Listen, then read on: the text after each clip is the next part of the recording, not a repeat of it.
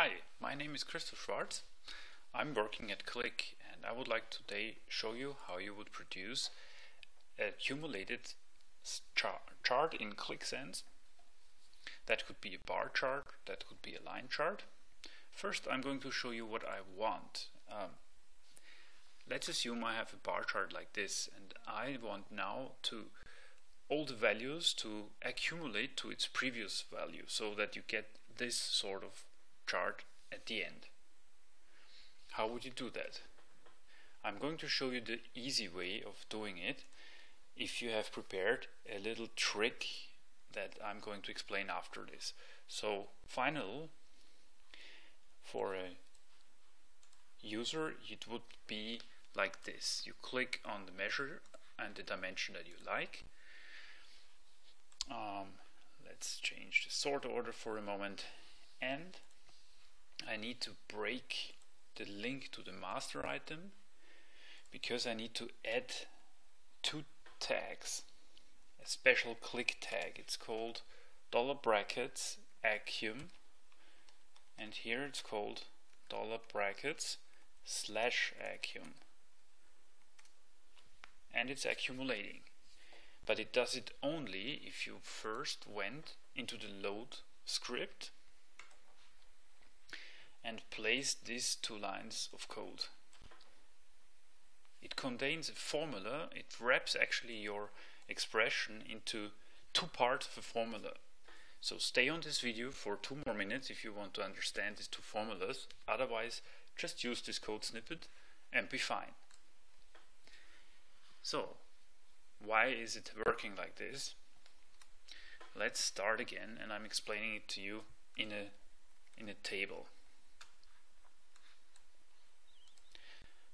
Again I'm taking my dimension and I'm adding my measure.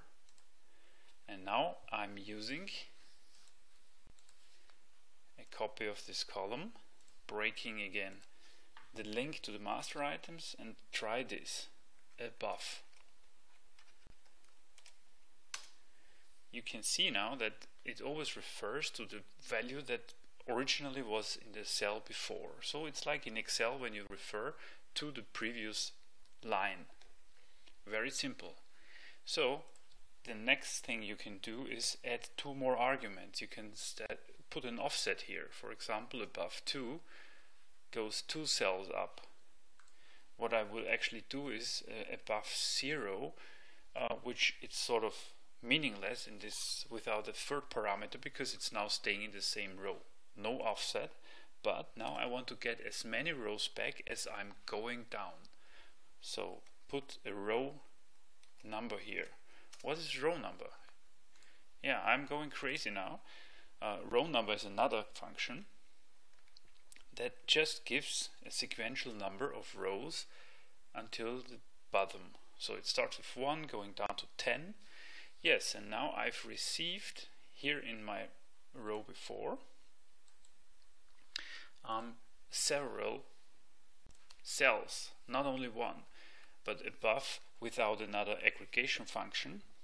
I need a range sum to do something with the, the vector of values that I've received. Range sum now finally will total up all the values. So this cell frankly says build a total from everything from here to the top or the last nine cells, the last eight cells, and so on and so on. So ultimately, this drives just an accumulation of the strikes column originally. And you will see now that I've done nothing else but just wrapping the first part before your function and the last part after your function into two um, variables which I called accum and slash accum. So to be short, just use these two tags. If you want to be a, technical wizard, use the function itself. Either way you, you achieve it. So thank you for watching. That's the end of today's tutorial.